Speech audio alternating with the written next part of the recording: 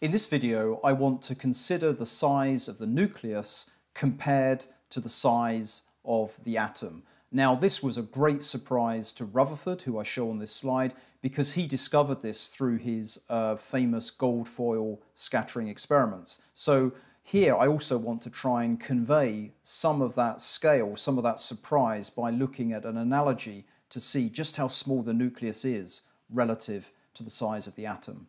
So we'll start out then with looking at uh, the classical uh, picture from the, uh, there it is there, from the Rutherford model of the atom, where what we have then is this densely packed nucleus containing nearly all of the mass of the atom, and then we have the electrons orbiting.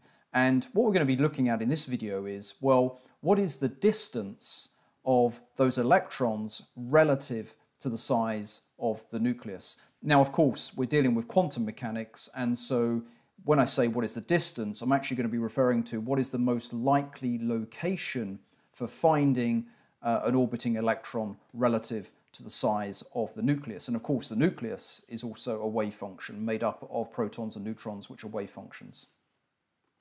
So to simplify things, I'm going to consider the hydrogen atom, where I've just now got a single proton uh, for the nucleus, and I'm going to consider therefore just one orbiting electron. So ignore those other electrons on this slide. And to give you the actual numbers here, I'm going to assume um, 1.67 times 10 to the minus 15 meters for the, uh, the diameter containing all of the positive charge of the proton.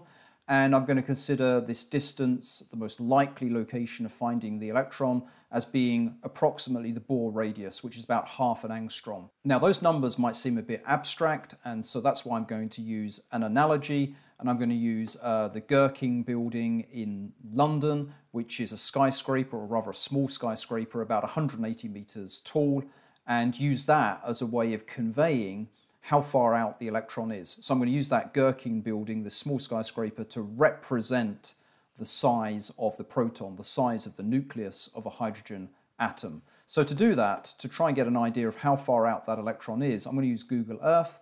There is the Gherkin building. And just to point out already, if we look at the entirety of this screen, we would not expect to find the electron located there. We have to zoom much further out. So what about this? Now we're seeing Tower Bridge at the bottom there, the shard there. Would we expect to find the electron there? Absolutely not. We've got to keep on going out. We can see most of London there, still wouldn't see the electron. We still would not expect to find the electron even at this distance as we start to approach France there. In fact, we wouldn't even expect to find the electron um, within the vicinity of Europe, again using the Gherkin building in London as a representation of the nucleus. In fact, what we have to do is go all the way out towards the USA, the east coast of the USA, and that is roughly where we'd expect to find the electron if we were to use that Gherkin building in London as a representation of the size of the nucleus. So I hope you can understand, therefore, the sheer amount of space between the very, very small nucleus and uh, the most likely location of finding an orbiting electron for the hydrogen atom. So hope that's been helpful. Thanks for listening.